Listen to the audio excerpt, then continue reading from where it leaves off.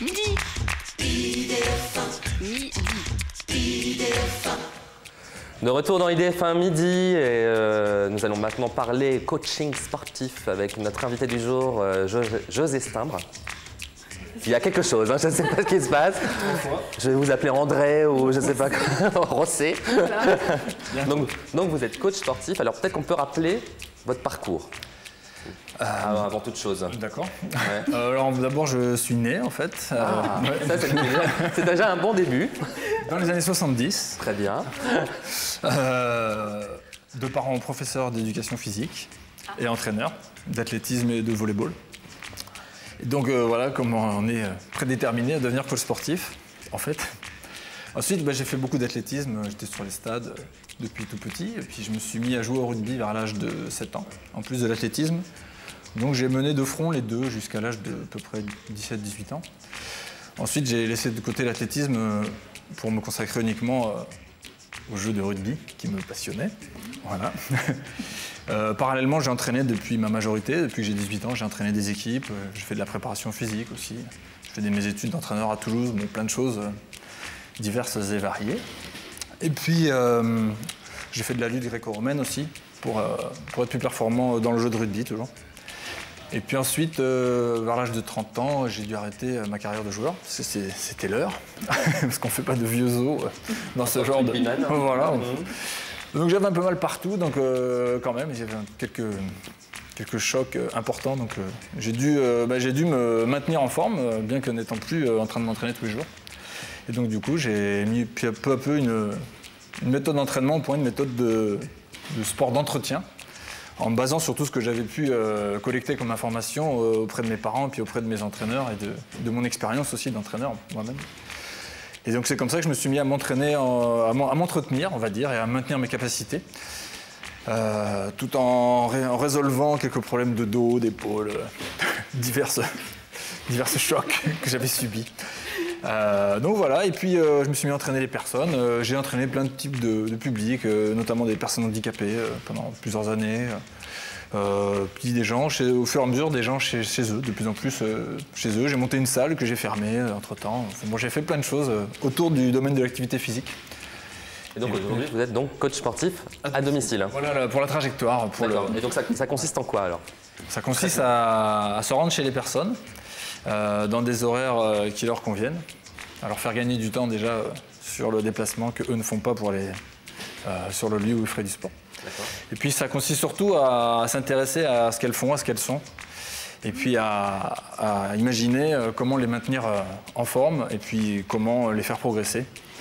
Donc euh, c'est c'est un peu comme ça que j'envisage en tout cas moi, mon travail. D'accord. Alors, on peut avoir effectivement l'image de- du coach sportif qui est quelque chose qui est réservé à, on va dire, une élite, les stars, etc. Pour- pourquoi est-ce que ça peut être effectivement pour tout le monde? Ben, ça peut être tout- pour tout le monde dans une certaine mesure, Oui, on va dire. forcément, ça dépend J'ai de- quand même pas mal d'acteurs et pas mal Bien de sûr, gens, ouais. dans Ouais. forcément, dans clientèle qui sont. Mais vous avez aussi des... J'ai aussi des personnes lambda qui, qui veulent se maintenir en forme et qui, qui n'ont pas le temps ou pas l'envie aussi d'aller se retrouver dans des lieux avec beaucoup de monde, euh, qui préfèrent l'intimité de leur, chez eux, ou par euh, certaines par euh, le regard des autres peut les déranger aussi, par exemple, ou pour de multiples raisons, soit parce qu'elles ne se sentent pas à l'aise avec leur corps, ou soit parce qu'elles sont euh, des personnes un peu connues, donc elles n'ont pas forcément non plus envie de. Voilà, elles ont envie d'être tranquilles. En d'autres termes, c'est un peu ça. Voilà. C'est quoi en général euh, la démarche première quand on fait appel à vous euh, pour du coaching? C'est deux choses, c'est euh, l'esthétique et la santé. Voilà, c'est vraiment ça. C'est des personnes qui ont besoin d'être en forme, qui ont. Alors soit je travaille sur, sur une planification dans le temps. On a un objectif précis. Dans trois mois, je pars en tournée pour, je sais pas, pour un certain temps. J'ai besoin d'être en forme. J'ai besoin de pouvoir, de pouvoir assumer cette charge de travail qui va être pour certains très importante. Euh, voilà, des spectacles tous les soirs au théâtre, par exemple. Il faut pouvoir enchaîner, se déplacer. Enfin voilà, il faut être en forme. Donc ça peut être ça, ou ça peut être quelque chose de beaucoup plus installé dans la, durée et, sans objectif euh, euh, déterminé, mais des objectifs plus euh, généraux, on va dire. Voilà. Maintenir sa souplesse, euh, être tonique, euh, être capable de supporter euh, des efforts, quels qu'ils soient. Euh, travailler sa coordination, sa mémoire, euh, son équilibre. Euh, selon les priorités euh, que je vais dégager en, en observant la personne, je vais axer mon travail euh, plus ou moins sur telle ou telle capacité en fait. Alors, est-ce que vous avez des clients qui parfois arrivent avec des euh, objectifs complètement insurmontables Tout à fait. Comment, est-ce que vous les gérez justement Je c'est- leur dis que c'est totalement insurmontable Ouais. et que donc euh, soit ils deviennent un peu plus raisonnables, soit ils font appel à quelqu'un d'autre. Notamment des personnes qui, qui sont dans la suractivité physique, ça peut arriver, et, euh, qui me demandent des choses que moi je juge dangereuses pour leur santé, auquel cas, euh, auquel cas soit j'arrive à leur faire comprendre que, que c'est pas bon pour eux, soit je ne prends pas la responsabilité de. Parce qu'étant donné que moi je viens euh, du sport de compétition et que je, suis devenu. euh, j'ai basculé dans le sport d'entretien. Je sais aussi les traumatismes que peuvent engendrer l'activité physique. Donc ben, vis-à-vis de ça, je, je fais comme vous, je regarde la personne qui passe. Oh, et qui a Et failli qui vient tomber. débrancher notre prompteur, c'est parfait, c'est pas grave. Ça met un peu d'animation. ça, je- Voilà. C'est. On. Voilà, c'est ça, c'est du vrai direct, on vient de le prouver. Euh, donc on disait. Ah ben on disait, Oui, donc euh, je suis né dans les années 70. on va commencer depuis le début. c'est c'est un accompagnement très personnel, adapté à chaque personne, Ouais, à ses ça. propres besoins. J'ai une petite question, est-ce que vous faites aussi des cours en extérieur ou uniquement chez les gens? Mais est-ce que vous allez dans Ça- les ça parcs, peut- dans la Ça peut forêt m'arriver, euh, mais la plupart du temps, je suis chez les personnes. D'accord, les gens ne sont pas très demandeurs d'aller dans Non. la nature? Non, sauf si C'est des personnes qui auraient besoin d'aller courir euh, ou des choses comme ça, évidemment, parce que dans l'appartement, un footing, ça peut être vite ennuyeux. Mais sinon, en, en général, c'est quand même À moins plutôt... un très grand appartement. Exactement, très très grand appartement. En général, c'est quand même plutôt dans l'intérieur. Ouais. Alors est-ce qu'il y a une différence entre l'entraînement que vous faites avec un homme et celui que vous faites avec une femme? Oui, il y a des, des- des différences assez euh, fondamentales, on va dire. En général, euh, hors, hors cas particulier, euh, les femmes ont plus tendance à, à avoir besoin d'un travail sur le bas du corps, sur l'arrière des bras aussi. Je suis étonnée. Très étonnée. J'essaie de le dire avec tact, ça, ça va, c'était pas trop brusquant. Et les hommes, euh, en général, plutôt sur le haut du corps. euh, voilà. Mais euh, je m'attache toujours à travailler l'ensemble du corps. J'essaie de faire comprendre aux personnes aussi que si on travaille qu'une partie de son corps, on va se déséquilibrer. Si on ne travaille pas les antagonistes, on va forcément créer des déséquilibres. Et c'est pas utile non plus, même d'un point de vue esthétique, c'est pas intéressant. Voilà. D'un point de vue postural aussi, notamment. J'ai une petite question. Donc, vous intervenez aussi sur un régime alimentaire. Sans parler de régime pour mincir ou grossir, régime. euh, Je vais donner des conseils, mais je ne me, me positionne pas en tant que spécialiste de la nutrition. Voilà. Des conseils d'hygiène, du simple bon sens en fait. Et par rapport euh, aux exercices que vous proposez, quels sont les, les outils? Parce que c'est vrai qu'une une salle de sport, on a plein, plein de Ben, machines. les outils, c'est euh, la personne et son poids de corps en fait. Voilà, ce qui est Il n'y a déjà. pas d'instrument, il n'y a rien. Il n'y a pas de poids, il n'y a rien. Non, non, rien. D'accord. Je travaille, euh, je travaille sans, sans matériel. On fait beaucoup de gainage. euh, Oui, pas mal, effectivement, d'exercices de gainage, mais ça va une fois de plus dé- dépendre de, de ce, que je vais, ce que je vais devoir travailler. Il y a des personnes qui physiquement ne peuvent pas supporter des exercices de gainage, par exemple. Donc je vais devoir adapter euh, au- en fonction de, de ce qui se passe et de, de la personne, toujours. C'est pour moi le, le maître mot d'un d'un bon entraîneur, en général, quel qu'il soit, c'est de s'adapter aux situations et aux personnes, toujours. Voilà. Alors, est-ce que ça peut être une, une bonne méthode pour quelqu'un qui n'a pas fait de sport depuis très très longtemps? Ça peut être euh, effectivement très indiqué puisque c'est très personnalisé, donc on va repartir euh, du niveau où elle se trouve, euh, sans jugement. Euh, on peut aussi, euh, souvent j'ai affaire à des personnes qui ont été sportives par le passé, qui vivent leur passé sportif comme une, sorte de nostalgie. J'essaie de leur faire comprendre que c'est plutôt une chance. Parce parce qu'elles ont la mémoire de ce qui s'est passé avant et on va gagner du temps sur plein de choses. Elles vont avoir des sensations que des personnes qui n'ont pas fait de sport avant euh, euh, n'auront pas. Alors, quel est l'intérêt de faire appel à vous plutôt que de, euh, de le faire soi-même, finalement, avec une, euh, je sais pas, un DVD de, de gym euh, sur sa télé, etc. Je pense que c'est à peu près le, le même intérêt que, que de réparer sa voiture soi-même ou, ou de l'amener chez un garagiste. quoi. Vous pouvez toujours essayer d'aller mettre les dans le capot. euh, effectivement, vous allez bricoler quelque chose, mais je suis pas quoi sûr que ça, veut dire va fonctionner. On peut, ça peut être dangereux de, de faire des choses, euh, de faire des exercices tout seul chez soi? Ça peut l'être, même si j'aime pas aller sur ce terrain-là, de dire aux personnes attention, c'est dangereux pour vous, faites appel à moi, c'est mieux. Aidez-moi à devenir riche. Non, non, il y a certaines choses que, il y a, il y a certaines choses que, que les personnes peuvent faire seules, effectivement, et puis tout dépend de leur, de leur patrimoine, de leur passé, de ce qu'elles savent de leur corps, tout bêtement, de ce qu'elles comprennent de leur corps, tout bêtement. Alors, petite question perso. Je me suis fait avoir, comme beaucoup de personnes, à acheter Ouais. des machines dans euh, des, euh, des, euh, des magasins de sport, etc. D'accord qui finalement n'ont pas beaucoup d'utilité. Est-ce que c'est vraiment, euh, est-ce que ça, est-ce que c'est justement, est-ce que c'est utile ou est-ce que ça ne l'est pas? Bah, Comme porte-manteau, ça peut être sympa. Oui, dans ça. certains cas, ça dépend des machines en fait. Non, j'exagère un peu. Euh, bah, c'est toujours pareil. Si vous avez une bonne connaissance de votre corps, vous pouvez faire certaines choses sans prendre de risques et puis en étant efficace aussi. Parce qu'il n'y a pas que le risque, il y a aussi l'efficacité de ce que vous allez pratiquer. Ouais, tout bêtement. Je dirais que d'une manière générale, quand même, chez les personnes, je trouve beaucoup d'objets euh, non utilisés dans des. Ou qui ont, qui ont eu une utilité très courte en fait. C'est Ouais, ça on sent que c'est en bon état en tout cas. Ouais. c'est- C'est c'est prêt à Ça aller prend la sur eBay. poussière depuis longtemps. Exactement, c'est prêt à aller sur eBay, il n'y a pas de souci, c'est état neuf, c'est nickel. D'accord. Une petite question internet avec Agatha. Oui, alors Cyril du 77 euh, nous dit qu'il a cassé sa jambe récemment, mais il aimerait la remuscler. Est-ce que vous êtes apte à donner ce genre de cours Alors euh, là, ce sera le travail d'un kiné, ce ne sera, pas mon métier. Euh, par contre, une fois qu'il aura récupéré euh, de la mobilité, de la masse musculaire, une fois qu'il sera déjà un peu retapé, là, on pourra envisager quelque chose ensemble. Mais c'est d'abord le travail d'un spécialiste du traumatisme. J'ai également Yvan du 93 hein, qui nous dit qu'il fume énormément, Ah ben. mais il aimerait tout de même se remettre au sport. Est-ce que vous pensez que cela est possible? Alors, euh, je pense que cela est possible, mais il faudra qu'il attaque sur des, sur des situations euh, qui mettent très peu en jeu euh, ses capacités cardio-pulmonaires, parce que euh, s'il fume énormément, euh, c'est quand même un peu dangereux. Ça peut lui donner l'impulsion, s'il va très doucement, euh, juste en faisant du renforcement, des étirements, au moins de récupérer un peu de sensation au niveau du corps, et peut-être donner une impulsion, se donner un peu plus l'envie et le courage, euh, parce qu'il faut du courage, d'aller arrêter de fumer en fait. Voilà, c'est plus comme ça que j'envisagerais. Je lui conseillerais quand même surtout d'arrêter de fumer. D'essayer en tout cas, de réduire, enfin voilà, d'aller vers, un cercle vertueux et essayer de quitter ce cercle vicieux dans lequel il se trouve euh, vis-à-vis de sa dépendance au tabac. Alors vous nous disiez que vous n'utilisez pas du tout de matériel. euh, Alors comment on fait pour prendre du muscle justement quand on n'utilise rien? Parce qu'on a pas l'impression qu'il faut effectivement il faut soulever des haltères, il faut soulever des poids pour, euh, pour se muscler. Ouais, imaginons, euh, vous voulez parler de soulever de poids, par exemple. Ouais. Euh, il y a un exercice qui est très répandu dans les salles de sport, c'est par exemple le développé couché. C'est un exercice où on est allongé sur le dos et on repousse une barre. D'accord.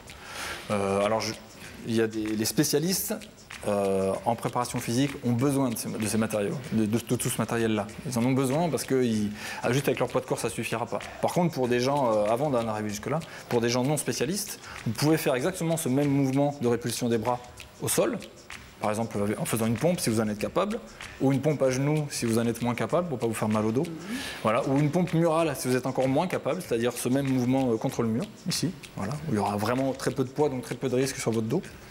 Vous pouvez donc effectivement euh, aller assez loin, c'est un simple exemple, aller assez loin dans le dans le- dans l'exercice physique sans, sans ajout de, de matériel. Vous pouvez aussi faire une pompe en dévers, ce qui devient vraiment quelque chose d'extrêmement dur, une pompe en dévers sur un bras, donc vous- ça commence à devenir absolument abominable. Donc voilà, donc là on a, on a- on a de la marge, on a vraiment de la marge euh, pour travailler rien qu'avec son propre poids de corps. Et puis c'est très intéressant de travailler juste avec son poids de corps parce qu'on travaille beaucoup la coordination. L'ensemble du muscle travaille, des muscles en fait travaillent en coordination.